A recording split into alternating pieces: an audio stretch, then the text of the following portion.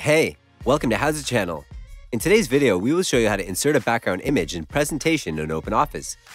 Go to OpenOffice file that you need. Select the slide that you need. Right-click on it and choose Slide. Set background picture or slide from the list. A new window will open.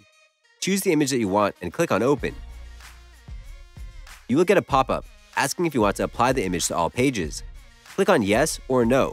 We click on No the image only appears on the selected slide. Select the slide that you need. Right-click on it and choose Slide. Set background picture for slide from the list. A new window will open.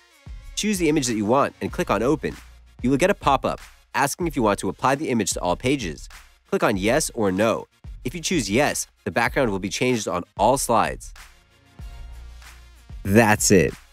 Thanks for watching the video. Please like it and let us know if you used any of our tips and tricks subscribe to our channel. We upload new tutorials every day. See ya!